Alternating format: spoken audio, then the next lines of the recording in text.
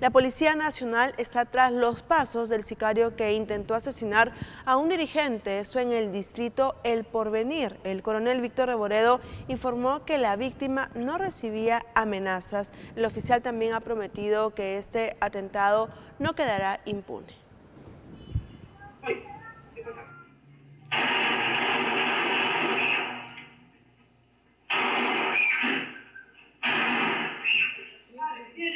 El coronel Víctor Reboredo, jefe del equipo contra el crimen nacional y extranjero, es quien asumió la investigación del atentado que sufrió el secretario general del Sindicato Unitario de Trabajadores Municipales del Porvenir.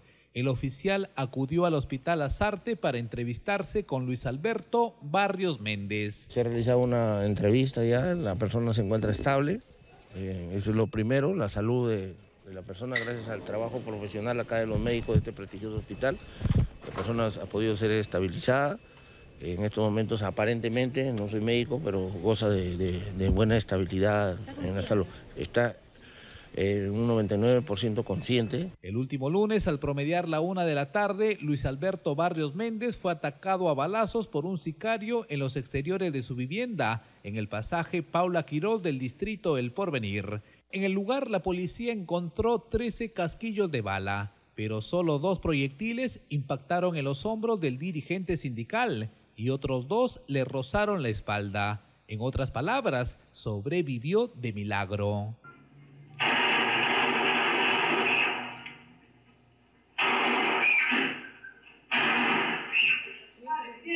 El cobarde ataque ocurrió frente a su hijo menor, pues Luis Barrios Méndez con su familia iban a almorzar fuera de casa. Lo extraño de este caso es que no hubo amenazas previas. Por el momento indica que no, es como consecuencia de, una de las hipótesis, un planteamiento de carácter laboral por la representatividad que él tiene y para él es una de las hipótesis. En este momento hay que entender la reserva de las investigaciones.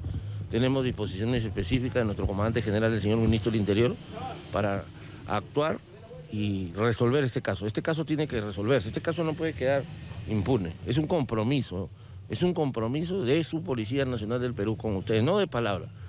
Es un caso complejo. El sicario que atacó al dirigente sindical tenía puesta una gorra y mascarilla para ocultar su rostro, pero hoy es buscado por la Policía Nacional. El caso fue tipificado como complejo por el coronel Víctor Reboredo. Mire, hay diferentes hipótesis, pero ya en su momento estamos en las diligencias preliminares y por favor le pedimos a la ciudadanía que confíe. Hay personas ahí que han visto la silueta de esta persona y todos, todos debemos de comprometernos en esto. Nosotros estamos asumiendo y particularmente yo asumo como encargado de esta unidad contra el crimen nacional y extranjero, una responsabilidad. Es responsabilidad absoluta esclarecer este caso e informarle a ustedes.